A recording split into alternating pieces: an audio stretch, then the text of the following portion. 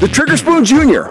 Big enough to draw strikes from trophy trout, small enough to round up a limit of pan-sized fryers, and the perfect spoon to put on the end of your line when the trolling gets tough. Pick up your kit of Trigger Spoon Juniors today at fishhuntshoot.com.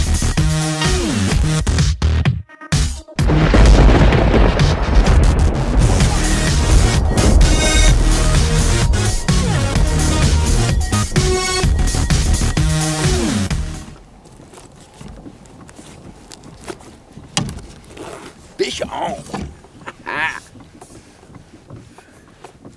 nice. Ooh.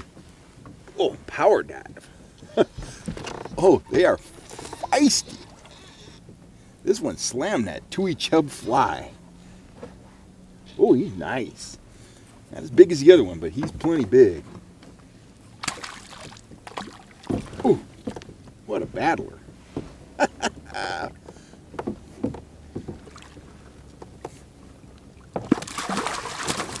there we go. Well, he smashed that fly. What a beautiful rainbow. Nice fish. 16, 17 inches long probably. Just a beautiful trout. I am stoked. I'm coming to you today with a viewer question. Johnny King down in Vallejo, California, he asked me what kind of line and what line test I use when I'm targeting trout and landlocked salmon. And uh, you know, that's pretty simple stuff. Here's my spinning rod. I use this rod in streams and I also use this rod in my kayak when I want to just flip a lure out and top line with it.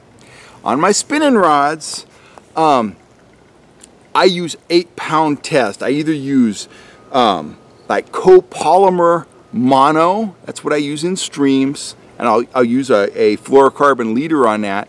Um, when I'm trolling out of the kayak, just to kind of save time, I'll, I'll spool up with eight pound test fluorocarbon. I use the top knot fluorocarbon from Yo-Zuri. Um, I found that, that to be economical, extremely tough, very reliable. That's why I choose that line.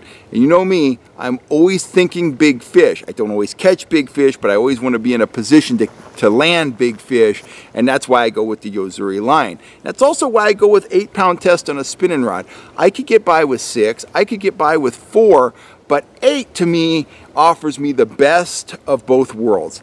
It's light enough to cast with, but it's strong enough to land a really big fish. And if I'm fishing in a creek, I might be dealing with a fish that's running through whitewater, hitting rocks, hitting sticks, stuff like that.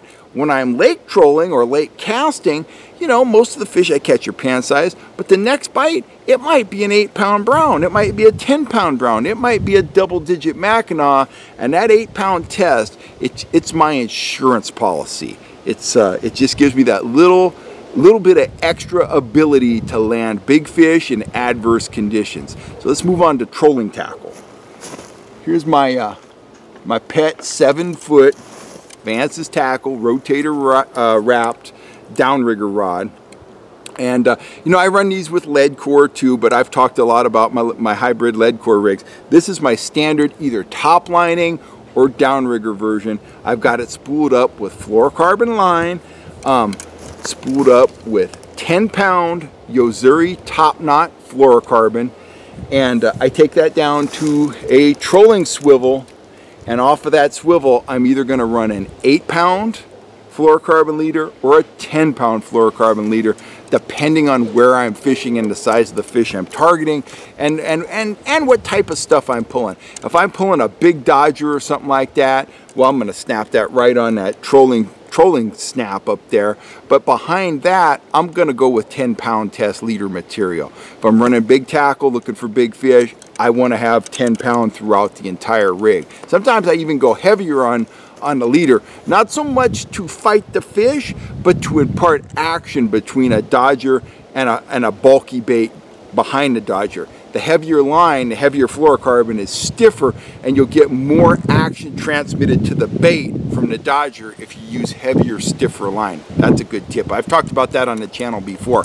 But anyway, 10 pound test on my trolling rods, 8 pound test on my spinning rods, and that gives me a lot of peace of mind. with this rod right here with 10 pound test on it, I could go down to the Delta and I could land a, you know, 12, 15, even a 20 pound striper with that rig, provided he doesn't, you know, get me tangled in a tree or something like that.